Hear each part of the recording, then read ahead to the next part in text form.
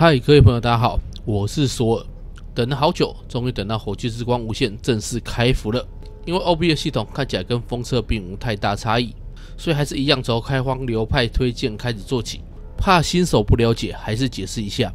所谓开荒阶段，就是游戏开局一直到第五章主线结束，最后进入到一些阶段开始刷装为止，称之为开荒阶段。开荒阶段以能快速通关为主。本次来介绍尤加时空幻象特性电球流开荒介绍。虽然都是电球流，但内容跟封测有点不同。接下来内容会把技能、天赋、特性与契约点法全部公开，大家可以照着抄或依照个人使用习惯微调。所谓没有度过前期，哪来后期？希望这个影片能帮助各位朋友比较舒服的度过前期喽。话不多说，马上开始这次的主题吧。先来谈技能，这流派的核心攻击技能为超载猎球。该技能尤加本身十五级才能买，若想要提早使用，可以开一支圣枪，七级时就可以买到放入仓库。尤加四级时就可以装超载猎球，就可以提早开始这个流派。武器部分，若尤加不是第一支开荒角，可以看看之前有没有打到春日复苏，有两把的话，开荒会顺利很多。交易所买也不贵。只要一个出火灵杀就买得到。建议的辅助技能为法术集中、节能施法、附加闪电伤害、疾风投射。技能第二招建议带复合药剂。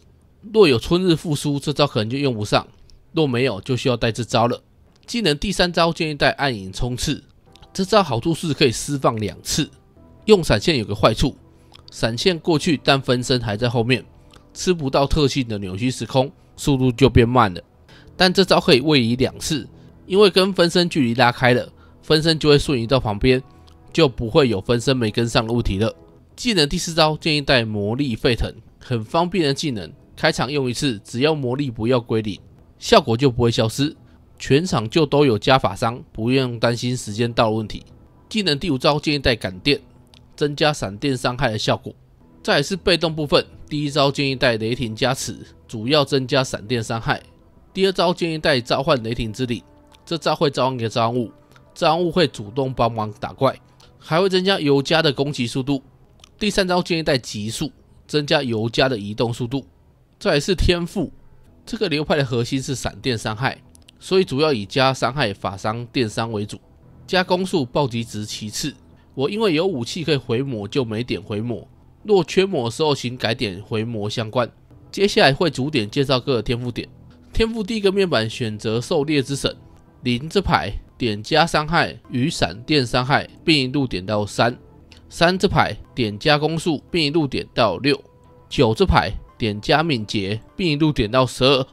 十五这排点加闪电伤害，并一路点到十八。大天幕点十点选择麻痹，二十点选择世事无常。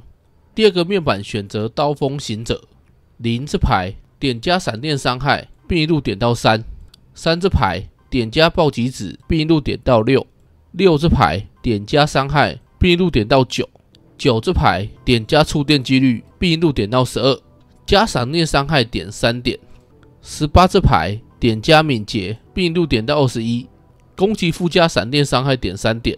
大天幕点部分，十八点选择跃迁。第三个面板选德鲁伊，零这牌点加伤害，并一路点到三；三这牌点加法术伤害，并一路点到六；六这牌点加暴击值，并一路点到九；十二这牌点加投射物速度，并一路点到十五；加施法速度点三点。大天幕点部分十八点选择栽培，天赋的部分就到这里结束。英雄特性部分十五跟五十不能选，就不谈了。三十二级部分选择立场效应，虽然我这边等级还没到，但是还是先谈一下。六十二级部分选择神秘联系，英雄特性部分就到这里结束。契约部分，因为器灵要抽，每个人又未必会抽到一样的，所以我在测试脱网的时候就没装气灵。这边示范是不装器灵的范例。首先是生存，这边可能会出现分歧，所以要先说明一下。因为我武器可以回魔，所以没点回魔速度。若魔力回复不够，三个魔力回复速度就要点满。魔力恢复不够的时候，一定优先点这个。进攻部分全点，最后才是点收集。契约的部分就到这里结束。以上就是尤加时空幻象特性、电球流相关技能跟配点，大家可以照着抄或依照个人使用习惯微调。接下来是实际刷图示范，会提出一些实际使用上要注意的点。实际示范完还有使用心得结论，要记得看完哦。此外，多以上的技能跟配点，假如有更好配法的话，欢迎留言告诉我哦。接下来就是打图示范，一开始几个小技巧教大家，在回魔冲组的时候，一开始就先放魔力飞粉，这样就可以一路打到过关，不用再释放，除非中途死亡。接下来最重要一个技巧。就是等级十五开启第一个特性之后，可以召唤出分身，分身会在扭曲时空，可以加攻速跟跑速。开局先不要急着打怪，先在油定丢技能把能量集满，并叫出分身，这样就不用一边打怪还一边看能量是否满，就比较不会手忙脚乱了。而且这样开场就能打出最高输出，增加效率。电球距离还算远，看到怪就可以开始丢。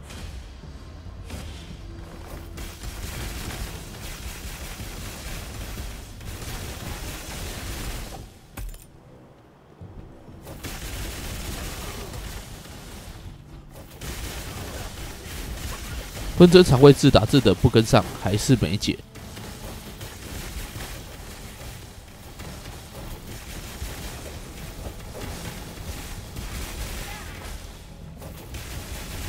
因为电球有范围跟会弹掉，打怪就丢怪中间就好了。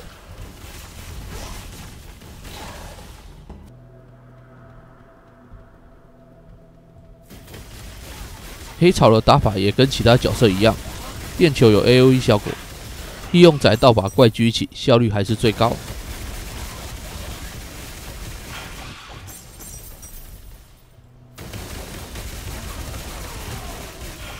也是没多久就把速坡黑潮解决了。